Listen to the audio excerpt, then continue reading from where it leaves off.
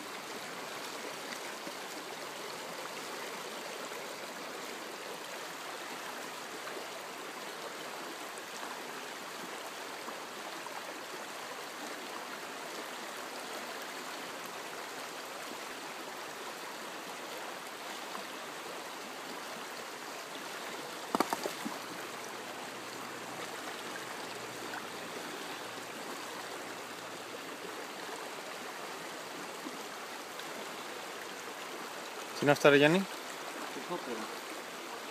Σε κουκούλι μέσα. Α.